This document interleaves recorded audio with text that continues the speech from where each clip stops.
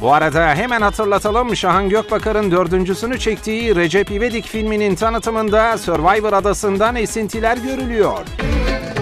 Necati, Aslıhan, Halil İbu. Yani burası Nuh'un gemisi gibi oldu bu takım. Darıca hayvanat bahçesi gibi bura. Bunlar Allah'ın lütfu, bunlar Allah'ın cezası. Bu şekilde olmaz ki ya. Meğer usta komedyen proje öncesi Acun Ilıcalı'yı aramış ve karşılıklı konuşup görüşmüşler.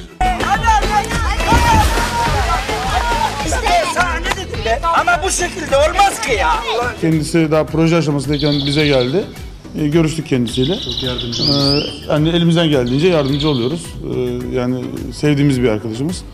Yani söylediği gibi herhangi bir problem kesinlikle yok.